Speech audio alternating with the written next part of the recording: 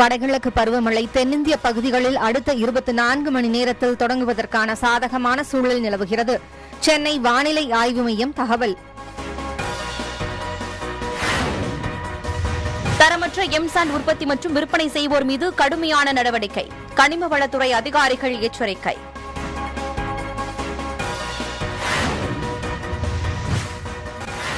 சேலம் ஓமலூர் பேரூராட்சியில் சேகரிக்கப்படும் குப்பைகள் சரபங்கா நதியில் கொட்டப்படும் அவலம். திடக்கழிவு மேலாண்மை திட்டம் செயல்படாமல் இருப்பதே காரணம் என பொதுமக்கள் குற்றச்சாட்டு.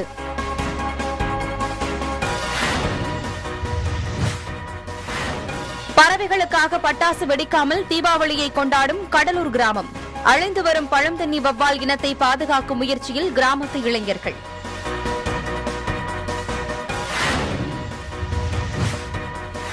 மேற்கு தொடர்ச்சி மலைப்பகுதிகளில் பெய்து வரும் கனமழையால் மஞ்சளாறு அணையில் இருந்து உபரி நீர் திறப்பு. மஞ்சளாறு ஆற்றங்கரையோர மக்களுக்கு வெள்ள அபாய எச்சரிக்கை.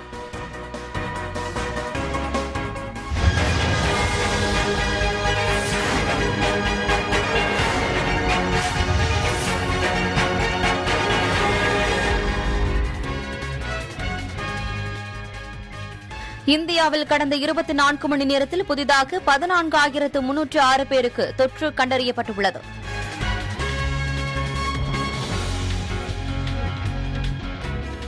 தமிழகத்தில் அரசு தனியார் மருத்துவக் கல்லூரிகளில் பிஎஸ்சி நர்சிங் உள்ளிட்ட பத்தொன்பது வகையான மருத்துவம் சார்ந்த துணை பட்ட படிப்புகளுக்கு விண்ணப்பிக்கலாம் என்று மருத்துவ கல்வி இயக்கம் தெரிவித்துள்ளது.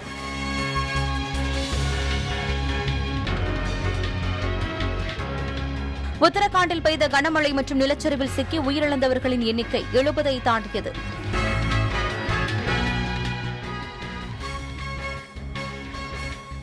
ஜம்மு காஷ்மீரில் பயங்கரவாத தாக்குதல்கள் தொடர்ந்தால் மீண்டும் கட்டுப்பாடுகள் அமல்படுத்தப்படும் என முப்படை தளபதி பிபின் ராவத் தெரிவித்துள்ளார்.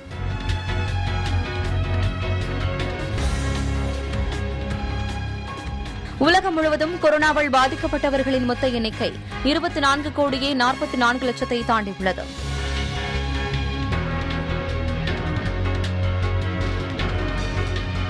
சீனாவில் மீண்டும் கொரோனா பரவல் அதிகரித்து வரும் நிலையில் பரிசோதனைகளை அதிகரித்து பாதிக்கப்பட்டவர்களை தனிமைப்படுத்தி கண்காணிக்க அந்நாட்டு அரசு தீவிர நடவடிக்கைகள் எடுத்து வருகிறது.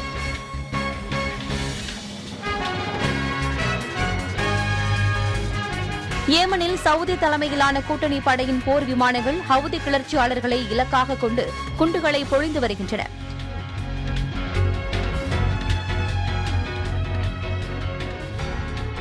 சீனாவில் ஏற்கனவே ஏழு வயது வரை உள்ள குழந்தைகளுக்கு வீட்டுப்பாடம் ரத்து செய்யப்பட்டுள்ளது.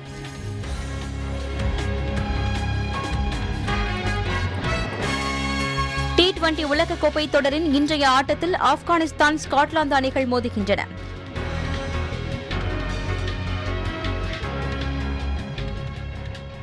ஐபிஎல் தொடரில் புதிதாக இணையவுள்ள இரண்டு அணிகள் குறித்த அறிவிப்பு இன்று வெளியாகிறது.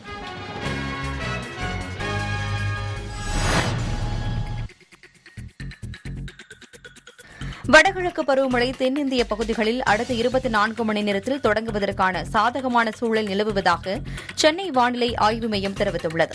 வானிலை ஆய்வு மையம் வெளியிட்டுள்ள செய்திக்குறிப்பில் வளிமண்டல மேலடுக்கு சுழற்சி காரணமாக இன்று டெல்டா மாவட்டங்களில் இடியுடன் கூடிய மழைக்கு வாய்ப்புள்ளதாகவும் நாளை புதுக்கோட்டை சிவகங்கை ராமநாதபுரம் மாவட்டங்களில் மிக கனமழைக்கு வாய்ப்புள்ளதாகவும் தெரிவிக்கப்பட்டுள்ளது.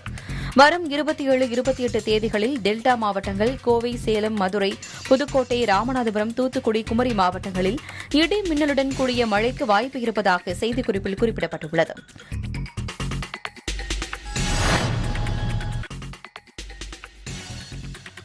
காலம் காலமாக பறவைகளுக்காக பட்டாசுகள் வெடிக்காமல் தீபாவளி கொண்டாடும் அடரி கிராமம் அனைவரையும் வியப்பில் ஆழ்த்துகிறது. கடலூர் மாவட்டம் அடரி கிராமத்தை சுற்றிலும் அரசு காப்பு காடுகள் உள்ளது. ஆயிரக்கணக்கான பழந்தினி வவ்வால் அடரி கிராமத்தில் உள்ள செல்லியம்மன் கோவில் தோப்பின் உயரமான மரங்களில் வாழ்ந்து வருகின்றன.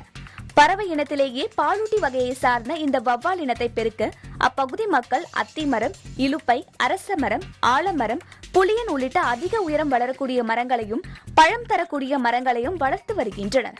மேலும் இயற்கையோடு ஒன்றி வாழும் அப்பகுதி மக்கள் பாலூட்டி பறவை இனமான வவ்வால் தங்கள் கிராமத்தின் அடையாளமாக போற்றி பாதுகாத்து வருகின்றனர்.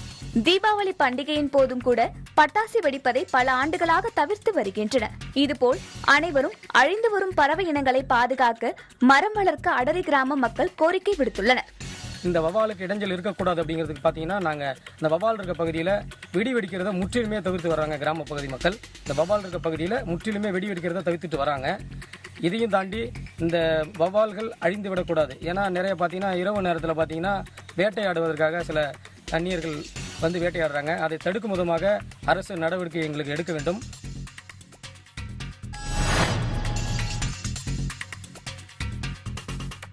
தரமற்ற எம்சான் விற்பனை செய்தால் கடும் நடவடிக்கை எடுக்கப்படும் என கனிம வளத்துறை அதிகாரிகள் எச்சரிக்கை விடுத்துள்ளனர். சேலம் மாவட்டம் ஓமலூர் காடையாம்பட்டி தாரமங்கலம் ஆகிய சுற்றுவட்டார கிராமங்களில் எம்சான் விற்பனை நிலையங்கள் அதிகமாக உள்ளன. தற்போது கட்டுமான பணிகளுக்கு ஆற்று மணலுக்கு மாற்றாக எம்சான் மணலை பயன்படுத்தி வருகின்றனர் குவாரிகளில் இருந்து முறையாக சுத்தம் செய்யப்படாத எம்சாண்ட் குறைந்த விலையில் விற்பனை செய்யப்படுவதால் இடத்தை நிரப்புவதற்கு பயன்படுத்த வேண்டிய எம்சாண்டை கட்டுமான பணிக்கு பயன்படுத்துவதால் கட்டடங்களின் உறுதித்தன்மை பாதிக்கும் அபாயம் உள்ளதாக புகார் எழுந்துள்ளது. இந்த நிலையில் சேலம் மாவட்ட கனிம வளத்துறை அதிகாரிகளுக்கு கட்டுமான நிறுவனங்கள் சார்பில் தரமற்ற எம்சாண்ட் விற்பனை செய்வது குறித்து புகார் அளிக்கப்பட்டது. இதனைத் தொடர்ந்து தரமற்ற எம்சாண்ட் உற்பத்தி மற்றும் விற்பனை செய்வோர் மீது கடுமையான நடவடிக்கை எடுக்கப்படும் என்று கனிம வளத்துறை அதிகாரிகள் எச்சரிக்கை விடுத்துள்ளனர். மேலும் குவாரிகளில் கண்காணிப்பு கேமரா வசதி செய்ய வேண்டும் லாரிகளில் ஜிபிஎஸ் கருவி பொருத்த வேண்டும் என்றும் அதிகாரிகள் அறிவுறுத்தி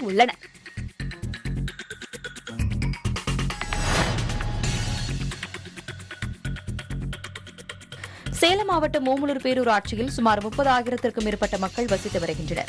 ஓமலூர் பல்வேறு பகுதிகளின் இணைப்பு நகர் என்பதால் தினமும் லட்சக்கணக்கான மக்கள் வந்து செல்கின்றனர். தினமும் கிட்டத்தட்ட இருபது டன் குப்பைகள் சேகரிக்கப்படுகிறது. சேகரிக்கப்படும் குப்பைகளை ஓமலூர் ஒன்பதாவது வார்டு வழியாக செல்லும் சரபங்கா ஆற்றங்கரையில் கொட்டப்படுவதால் ஆறு பாழடைந்து காணப்படுகிறது. மேலும் ஆறு அதன் தன்மையை இழந்து கழிவுநீர் கால்வாயாக மாறிவிட்டது. இதனால் சுகாதார சீர்கேடு ஏற்பட்டு பொதுமக்களும் விவசாயிகளும் தொடர்ந்து பாதிக்கப்பட்டு வருகின்றனர். பேரூராட்சி நிர்வாகம் குப்பை கொட்டுவதை நிறுத்த வேண்டும் திடக்கழிவு மேலாண்மை திட்டத்தை விரைவாக செயல்படுத்த வேண்டும் என்று அரசுக்கு பொதுமக்கள் கோரிக்கை வைத்துள்ளனர்.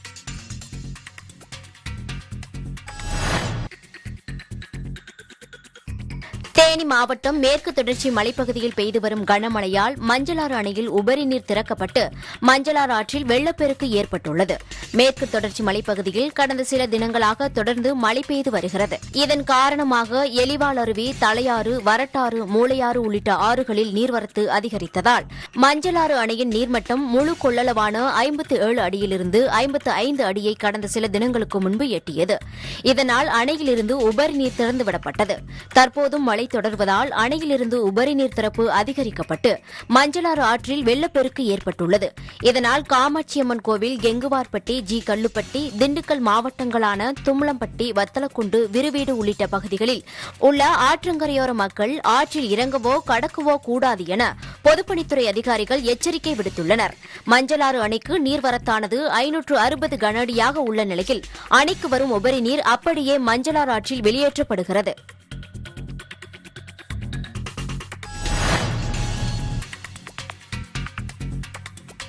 மேட்டூர் அணைக்கான நீர்வரத்து குறைந்திருந்தாலும் பாசனத்திற்கு நூறு கன அடி தண்ணீர் மட்டுமே வெளியேற்றப்படுவதால் அணையின் நீர்மட்டம் உயர்ந்தே வருகிறது. காவிரி நீர்பிடிப்பு பகுதிகளில் கடந்த சில தினங்களாக பெய்த கனமழையாலும் கபினி கிருஷ்ணராஜசாகர் அணையிலிருந்து வினாடிக்கு பத்தாயிரம் கன அடி தண்ணீர் திறக்கப்பட்டு வருவதாலும் மேட்டூர் அணைக்கான நீர்வரத்து நேற்று முன்தினம் வினாடிக்கு நாற்பதாயிரம் கன அடியாக அதிகரித்தது. இதன் காரணமாக அணையின் நீர்மட்டம் நடப்பாண்டில் இரண்டாவது முறையாக நூறு அடியை எட்டியது. தற்பொழுது காவிரி நீர்பிடிப்பு பகுதிகளில் மழைப்பொழிவு படிப்படியாக குறைந்து வருவதால் அணைக்கு நீர்வரத்து வினாடிக்கு இருபத்தோராயிரத்து முன்னூற்று தொண்ணூறு கனஅடியாக சரிந்துள்ளது. இருப்பினும் டெல்டா பாசனத்திற்காக நூறு கனஅடி தண்ணீர் மட்டுமே வெளியேற்றப்படுவதால் அணையின் நீர்மட்டம் தொடர்ந்து உயர்ந்து வருகிறது. இன்று காலை நிலவரப்படி அணையின் நீர்மட்டம் நூற்று ஒன்று அடியாகவும் நீரிருப்பு அறுபத்தி ஆறு புள்ளி இரண்டு பூஜ்ஜியம் டிஎம்சி உள்ளது.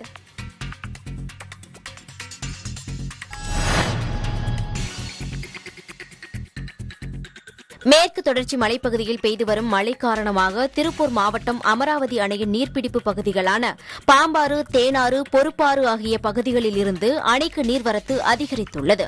அணையின் நீர்மட்டம் இரண்டு நாட்களுக்கு முன்வரை எண்பத்தி ஒரு அடியாக இருந்த நிலையில் கேரளாவில் தொடர் மழை காரணமாக நீர்வரத்து அதிகரித்து ஒரே நாளில் எண்பத்து மூன்று புள்ளி இரண்டு ஏழு அடியாக உயர்ந்துள்ளது. காலை எட்டு மணி நிலவரப்படி அணைக்கு ஆயிரத்து நூற்று அறுபத்தைந்து கன அடி நீர் வந்து கொண்டிருக்கிறது. தொடர்ந்து நீர்வரத்து அதிகரித்தால் இருப்பதால் விரைவில் அணையின் முழு கொள்ளளவை எட்ட வாய்ப்புள்ளதாக தகவல் தெரிவிக்கப்பட்டுள்ளது.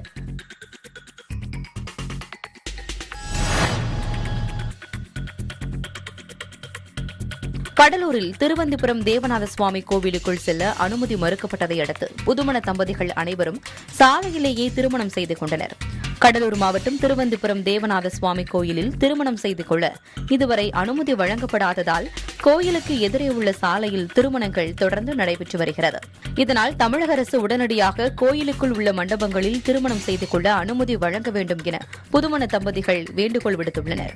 இதுகுறித்து கோயில் நிர்வாகத்திடம் கேட்டதற்கு அரசு நவம்பர் ஒன்றாம் தேதியிலிருந்து அனுமதி வழங்கியுள்ளதாகவும் விரைவில் அது நடைமுறைக்கு வரும் எனவும் தெரிவித்தனா் இக்கோயிலில் திருமணம் செய்து கொண்டால் வாழ்க்கை சிறக்கும் என்ற நம்பிக்கையின் அடிப்படையில் பெரும்பாலானவர்கள் இங்கு திருமணம் செய்து கொள்கின்றனர் என்பது குறிப்பிடத்தக்கது.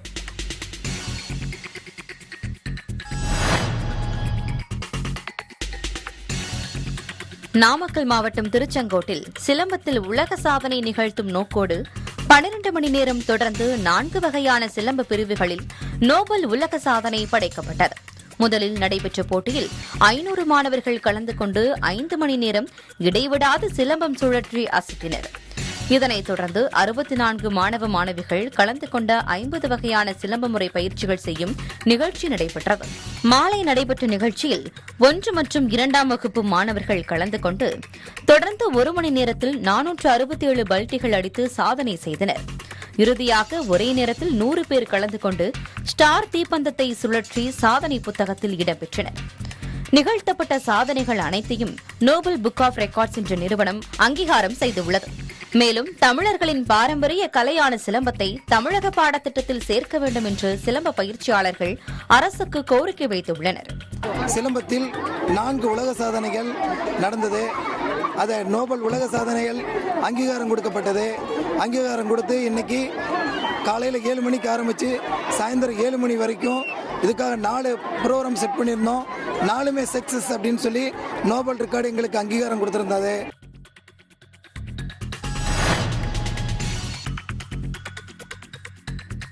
புதுச்சேரியில் மூன்று ஆண்டுகளுக்கு பிறகு அரசு சார்பு நிறுவனமான பாப்ஸ்கோ மூலம் பிரம்மாண்ட தீபாவளி சிறப்பங்காடியை முதல்வர் ரங்கசாமி துணைநிலை ஆளுநர் தமிழிசை சவுந்தரராஜன் திறந்து வைத்தனர். புதுச்சேரி அரசின் சார்பு நிறுவனமான பாப்ஸ்கோ கடந்த இருபத்தி ஆறு ஆண்டுகளாக தீபாவளி சிறப்பங்காடியை நடத்தி வருகிறது. இங்கு தீபாவளி பண்டிகைக்கு தேவையான மளிகைப் பொருட்கள் முதல் பட்டாசு வரை மலிவு விலையில் விற்கப்படுவதால் விழுப்புரம் கடலூர் காஞ்சிபுரம் உள்ளிட்ட மாவட்டங்களிலிருந்து பொதுமக்கள் வந்து பொருட்கள் வாங்கி செல்வது வழக்கம். இந்த பாப்ஸ்கோ நிறுவனம் நொடிந்து போன போனதால் கடந்த மூன்று ஆண்டுகளாக தீபாவளி அங்காடி போடப்படவில்லை. தற்போது மீண்டும் கிழக்கு கடற்கரை சாலையில் உள்ள ஒழுங்குமுறை விற்பனை கூட வளாகத்தில் பாப்ஸ்கோ நிறுவனத்தின் சார்பில் தீபாவளி சிறப்பங்காடி திறக்கப்பட்டது. நிகழ்ச்சியில் பங்கேற்ற பின் செய்தியாளரிடம் பேசிய முதல்வர் ரங்கசாமி இந்த ஆண்டு பத்து கோடி ரூபாய்க்கு விற்பனை செய்ய இலக்கு நிர்ணயம் செய்யப்பட்டுள்ளது என்றார்.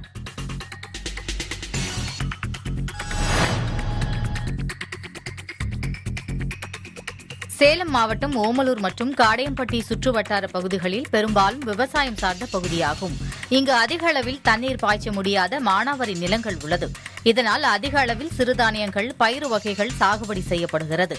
அவரை துவரை பாசிப்பயிறு காராமணி கொள்ளு உளுந்து உள்ளிட்ட பயிர்களை அதிக அளவில் பயிரிட்டு உள்ளனர். இந்நிலையில் தற்போது தேசிய ஊரக வேலைவாய்ப்பு நூறு நாள் வேலை திட்டத்திற்கு விவசாய கூலி ஆட்கள் செல்வதால் விவசாய பணிகளுக்கு ஆட்கள் கிடைக்காத நிலை ஏற்பட்டுள்ளது. இதனால் அறுவடை பணிகளை செய்ய முடியாமல் விவசாயிகள் பாதிக்கப்பட்டுள்ளனர். சிறுதானிய பயிர்களை அறுவடை செய்ய ஆட்கள் கிடைக்காததால் நெல் அறுவடை இயந்திரத்தை கொண்டு பச்சை பயிற்சை அறுவடை செய்து வருகின்றனர். இதில் அறுவடை செய்யும் போது விதைகள் வீணாவதாகவும் விவசாயிகள் நஷ்டமடைந்து வருவதாகவும் கூறுகின்றனர். எனவே இதுகுறித்து அரசு நடவடிக்கை எடுக்க வேண்டும் என விவசாயிகள் கோரிக்கை விடுத்துள்ளனர்.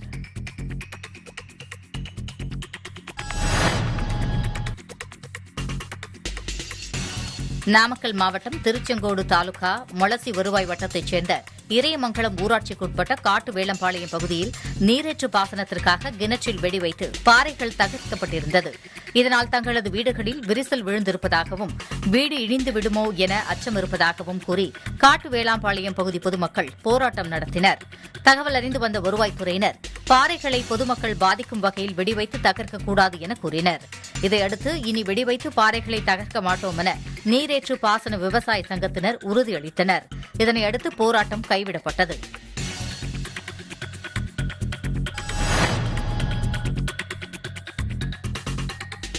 புதுக்கோட்டை நகர் பகுதியில் சாந்தநாத சுவாமி கோயிலுக்குள் புகுந்த தண்ணீரை அகற்ற அதிகாரிகள் உடனடி நடவடிக்கை எடுக்க வேண்டும் என பொதுமக்கள் கோரிக்கை விடுத்துள்ளனர். புதுக்கோட்டை நகர் பகுதிகளில் கடந்த ஒரு மாதத்திற்கு மேலாக பலத்த மழை பெய்து வருகிறது.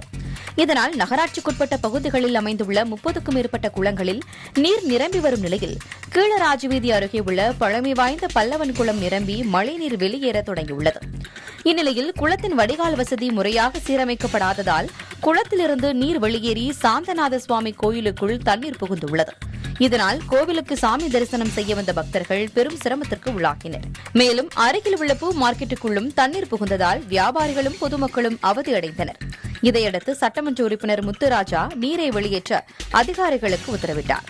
ஆனால் ஒவ்வொரு மழைக்காலங்களிலும் இதுபோன்று நடைபெறுவதால் அரசு அதிகாரிகள் நடவடிக்கை எடுத்து வடிகால் வாய்க்காலை சீரமைக்க வேண்டும் என பொதுமக்களும் பக்தர்களும் கோரிக்கை விடுத்துள்ளனர். இங்கே இந்த பல்லவன் குளம் எப்போதுமே ம கனமழை பெய்கிறப்பெல்லாம் ரொம்ப அது கோயில் உள்ள பிரகாரம் உள்ள வரைய தண்ணி வந்துடுது ஒவ்வொரு மழை காலத்துலேயும் இது மாதிரி ஒரு சிரமங்கள் எங்களுக்கு இருக்குது அது உள்ளே போனால் முட்டிக்கால் அளவுக்கு அந்த தண்ணியோட அளவு இருக்குது அதில் உள்ள பாம்பு பூரா பள்ளி எல்லா இதுவும் உள்ளே வந்துடுது அது மற்ற குப்பைகளும் உள்ளே வந்துடுது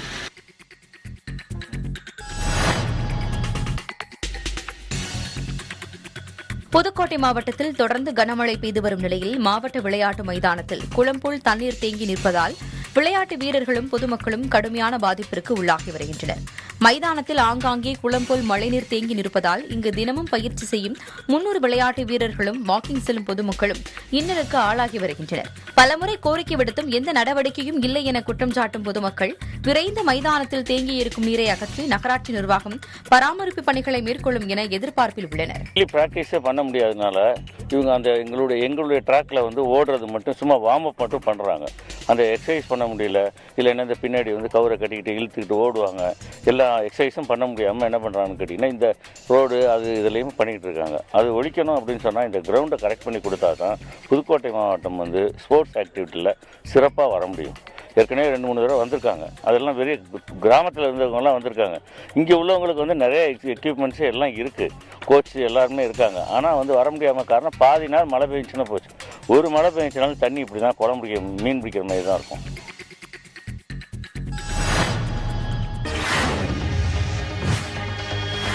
தீபாவளி பண்டிகை நெருங்கி வரும் நிலையில் புதுக்கோட்டை நகரின் முக்கிய பகுதிகளில் உள்ள கடைகளில் ஜவுளி உள்ளிட்ட பொருட்களை வாங்க பொதுமக்களின் கூட்டம் குறைவாகவே காணப்படுவதால் வியாபாரிகள் ஏமாற்றமடைந்துள்ளனர். கடந்தாண்டை போல இந்த ஆண்டு விற்பனை இருக்காது என வியாபாரிகள் நம்பிக்கை தெரிவித்துள்ளனர்.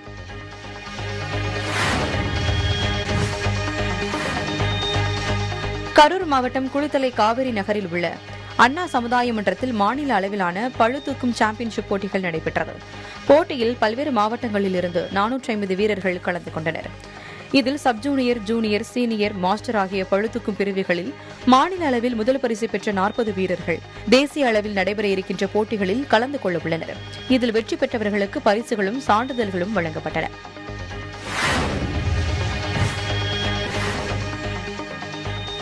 புதுக்கோட்டை மாவட்டம் திருமயம் அருகே திருச்சி ராமேஸ்வரம் தேசிய நெடுஞ்சாலையில் சுமார் பனிரண்டு அடி நீள மலைப்பாம்பு ஒன்று ஏதோ ஒரு இரையை உண்ட களைப்பில் கிடந்துள்ளது. இதனால் இருசக்கர மற்றும் நான்கு சக்கர வாகன ஓட்டிகள் சாலையை கடக்காமல் ஆச்சரியத்துடன் பார்த்து சென்றனர். பிறகு அந்த பாம்பானது சாலையிலிருந்து மெல்ல மெல்ல ஊர்ந்து அருகே உட்பதுருக்குள் சென்றது.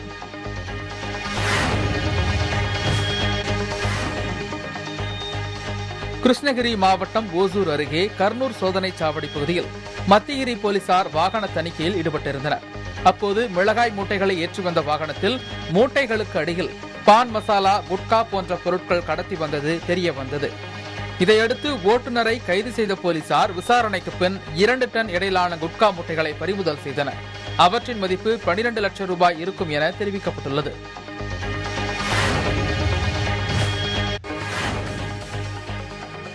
விழுப்புரம் மாவட்டம் செஞ்சி டிஎஸ்பி இளங்கோவன் தலைமையில் செஞ்சி போலீசார் செஞ்சி சங்கராபரணி ஆற்றங்கரையில் தீவிர வாகன சோதனையில் ஈடுபட்டனர். அப்போது ஐகோர்ட் உத்தரவுப்படி கார் வேன் மினி வேன்களில் அகற்றப்படாமல் இருக்கும் பம்பர்களை அகற்றினர். மேலும் வாகனங்களுக்கு அபராதம் விதிக்கப்பட்டது.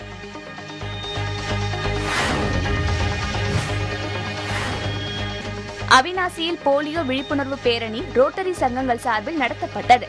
அவினாசி கிழக்கு குன்னத்தூர் மற்றும் திருப்பூர் ரோட்டரி மற்றும் ரோட்டோ ராக்கெட் சங்கங்கள் சார்பாக போலியோ இறுதி இன்றுடன் என்ற வாசகத்துடன் விழிப்புணர்வு பேரணி நடைபெற்றது. பெண்கள் மேல்நிலைப் பள்ளியில் துவங்கிய இப்பேரணியானது கோவை சாலை கால்நடை மருத்துவமனை துப்புச்செட்டிப்பாளையம் சேயூர் சாலை கச்சேரி வீதி என முக்கிய வீதிகளின் வழியாக சுமார் இரண்டு கிலோமீட்டர் தூரம் சென்று நடைபெற்றது.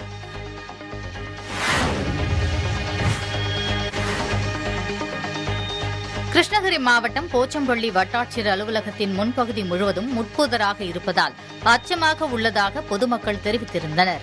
இதுகுறித்து வெளியான செய்தியால் ஜேசிபி இயந்திரம் கொண்டு வட்டாட்சியர் அலுவலக வளாகத்தில் இருந்த முட்புதர்கள் அகற்றப்பட்டன தற்போது அந்த பகுதி முழுவதும் தூய்மையாக காணப்படுகிறது. மேலும் வெளிப்பகுதியில் பொதுமக்கள் அமர்வதற்கு போதிய இருக்கை வசதிகளை அமைத்துக் கொடுக்க வேண்டுமென கோரிக்கை விடுத்துள்ளனர்.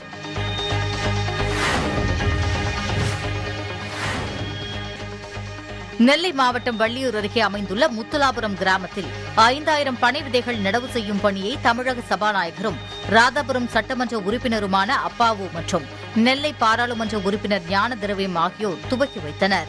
மேலும் கூடுதலாக ஐந்தாயிரத்திற்கும் மேற்பட்ட பனை விதைகளை குளக்கரையில் நடவு செய்யும் முடிவு செய்திருப்பதாக முத்துலாபுரம் பங்குத்தந்தை டெனிஸ் ராஜா கூறினார். இந்நிகழ்ச்சியில் பொதுமக்கள் உட்பட பலர் கலந்து கொண்டனர்.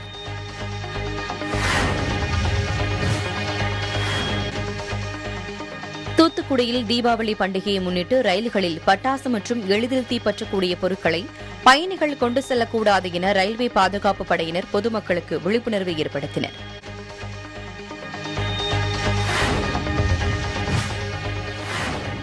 நாமக்கல் ஆஞ்சநேயர் கோவிலில் கடந்த பதினெட்டு மாதங்களாக நிறுத்தி வைக்கப்பட்டிருந்த தங்க தேரோட்டம் நேற்று மீண்டும் தொடங்கப்பட்டது. தேரோட்டத்தை தமிழக சுற்றுலாத்துறை அமைச்சர் மதிவேந்தன் மாநிலங்களவை உறுப்பினர் ராஜேஷ்குமார் உள்ளிட்டோர் தொடங்கி வைத்தனர்.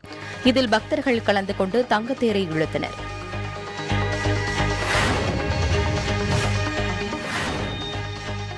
நாகை மாவட்டம் வேதாரண்யத்தை அடுத்த கரியாப்பட்டினம் கடைத்தெருவில் மதுவிலக்கு ஆயத்தீர்வைத்துறை சார்பில் கள்ளச்சாராயத்திற்கு எதிரான விழிப்புணர்வு கலை நிகழ்ச்சி நடைபெற்றது.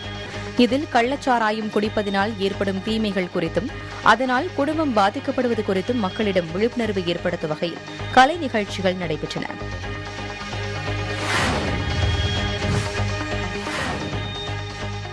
திருச்செந்தூர் சுப்பிரமணிய சுவாமி திருக்கோவிலில் முருகர் வள்ளி தெய்வானையுடன் தங்கத்தேரில் உலா வந்து பக்தர்களுக்கு அருள் பாலித்தார்.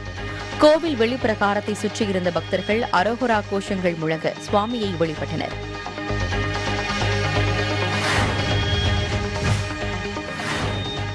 சிவகங்கை மாவட்டம் காரைக்குடியில் சுமை தூக்கும் தொழிலாளியாக வேலை பார்த்து வந்த லட்சுமணன் என்பவரை அடையாளம் தெரியாத நான்கு பேர் அறிவாளர் தாக்கியதில் காயமடைந்து மருத்துவமனையில் அனுமதிக்கப்பட்டிருந்த நிலையில் சிகிச்சை பலனின்றி உயிரிழந்துள்ளார்.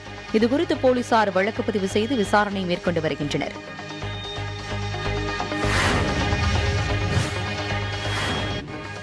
மயிலாடுதுறை மாவட்டம் அரசூர் புறவழிச்சாலை ரவுண்டானாவில் சீர்காழி வனச்சரக அலுவலர் ஜோசப் டேனியல் தலைமையில் வனத்துறையினர் ரோந்து பணியில் ஈடுபட்டிருந்தனர். அப்போது அங்கு புத்தூர் கிராமத்தைச் சேர்ந்த நரிக்குறவர்கள் ரவி மற்றும் சரத் ஆகியோர் வெள்ளை கொக்குகளை பிடித்துக் கொண்டிருந்தனர்.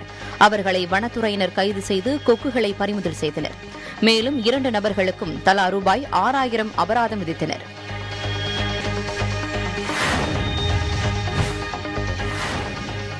தூத்துக்குடி மாவட்டம் கோவில்பட்டியை அடுத்த பாண்டவர் மங்கலத்தில் உள்ள ஹாக்கி மைதானத்தில் கூசாலிப்பட்டி மற்றும் தெற்கு திட்டங்குளம் ஹாக்கி அணி வீரர்களுக்கு இடையே கைகலப்பு ஏற்பட்டதில் அரவிந்த் சிங் சுந்தர்ராஜ் ஆகிய இரண்டு வீரர்கள் காயமடைந்தனர். இப்பிரச்சினை குறித்து கோவில்பட்டி மேற்கு காவல் நிலைய போலீசார் வழக்கு பதிவு செய்து இரு தரப்பினை சேர்ந்த எட்டு பேர் மீது வழக்கு பதிவு செய்து விசாரணை நடத்தி வருகின்றனர்.